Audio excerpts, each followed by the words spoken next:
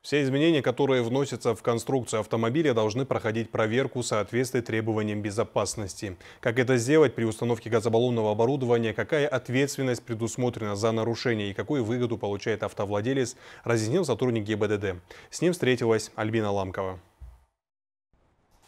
Многие автолюбители переводят машину на газ, чтобы сэкономить на топливе, но сначала придется переоборудовать и перерегистрировать автомобиль. Для этого необходимо пройти процедуру, аналогичную техосмотру, так как любые изменения, внесенные в конструкцию транспортного средства, являются предметом для регистрации в условленном порядке.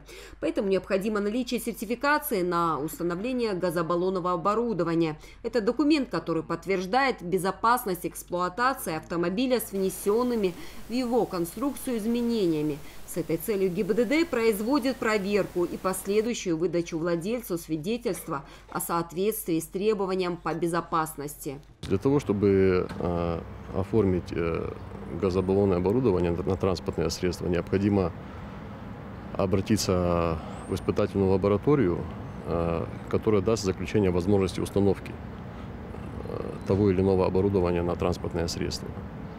А после получения данного заключения необходимо обратиться в ГИБДД а, для получения разрешения на саму установку.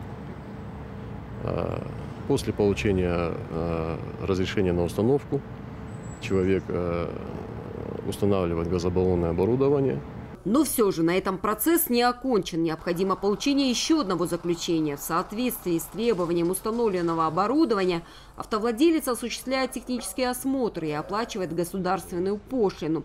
Затем обращается уже с пакетом документов в ГИБДД для получения самого документа о внесении изменений в транспортное средство. После получения данного документа необходимо обратиться в регистрационное экзаменационное подразделение – и внести уже в регистрационные документы транспортного средства э, отметку о том, что установлено законом порядке то или иное изменение.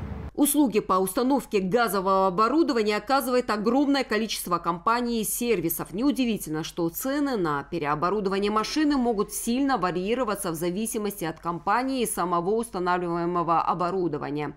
Для верности процедуры рекомендуют проводить ее в профильных сервисах, зарегистрированных в налоговых органах. В первую очередь э, соблюдать все требования, э, которые необходимы для регистрации и обязательно э, зарегистрировать. Это уже является страховкой для самого владельца, что он прошел все экспертизы, прошел все лаборатории и э, безопасно установил свое транспортное средство газобаллонное оборудование. Все узлы газового оборудования подбираются к каждому автомобилю индивидуально. Главный элемент такой установки – газовый баллон. Обычно его объем не уступает бензиновому баку в машине. Чаще всего баллоны устанавливают в нишу для хранения запасного колеса.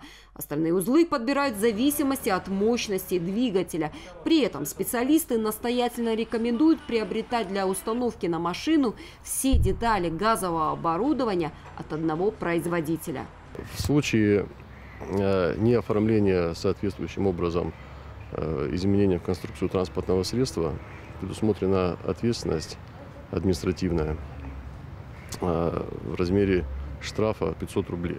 Чтобы не нарваться на штрафы, водителю придется запастись терпением, собрать необходимые документы и посетить различные инстанции. Также следует помнить о многочисленных мошенниках, которые обещают значительно упростить процедуру.